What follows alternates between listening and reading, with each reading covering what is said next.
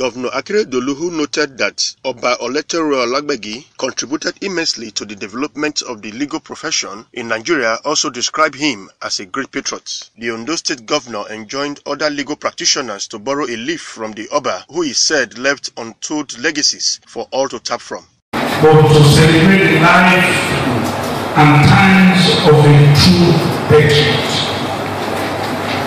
a statesman, a rare monarch, and an illustrious son Also speaking at the section, Eyitayo Jegede, the Chief Judge of Ondo State, Oluwa Toyin Akeredolu, and other legal icons took turns to pay glowing tributes to the late Oba.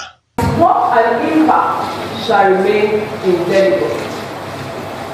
Most of us sitting on this side of the floor and many others on, on the other side will forever be work. He was a teacher of senior degrees of Nigeria.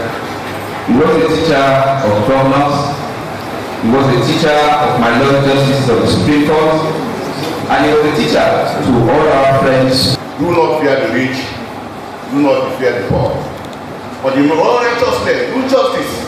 That at the end of the day, you can live in the faith of God and say, yes, God, I've done my bit and come back. The departed monarch was installed as the 31st Olowo in 1999 and died at 78. From Akure, the Ondo State capital, Jonah Omowa reporting.